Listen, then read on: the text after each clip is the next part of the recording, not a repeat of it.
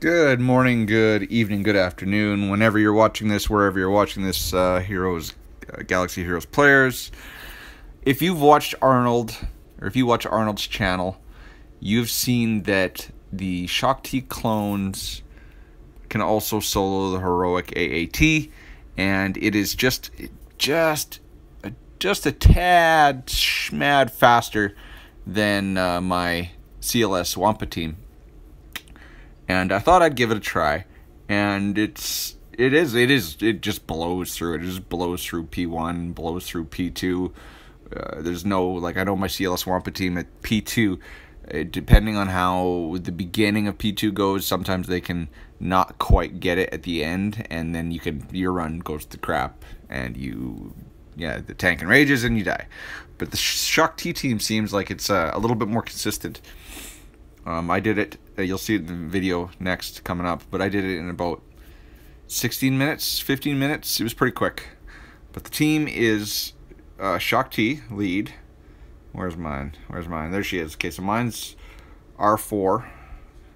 She's modded for it's pretty it's offense mods, but it's it's protection and speed. So you know protection, protection, protection.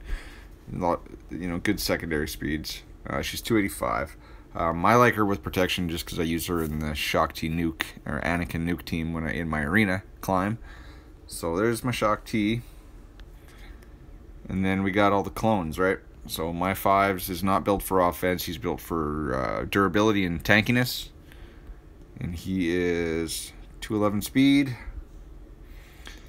My Echo is built for all damage uh, protection, and then offense, crit damage. Ooh, thanks Indigo. Uh, crit damage, speed, and yeah, so it's built for offense, and he's got 243 speed. And then we got Rexy Boy, Sexy Rexy, who's going to be doing all the damage right now. I've got him just with kind of a, a, placeholder speed set until I can get my gas running, and then I can swap over or swap over my Darth Revan mods onto him. But just built for speed, 285. Uh, so those are the three clones you're going to want. And then you can do this. I've seen it done with ARC Trooper, but I find that uh, the running your C-3PO is much better. So my C-3PO is built for speed and some potency so we can get those, um, what are they called? Not translations, the opposite. Um, the debuff on. But uh, my C-3PO right now, not super fast, only 246 speed.